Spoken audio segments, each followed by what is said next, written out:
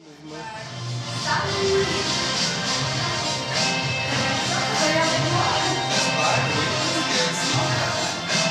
me présente, je m'appelle euh, Fanny Cristenziano. Euh, je suis spécialiste de la présentation visuelle euh, chez Jack Jones pour le Canada. J'ai gradué en 2008 du cégep Marie-Victorin en commercialisation de la mode.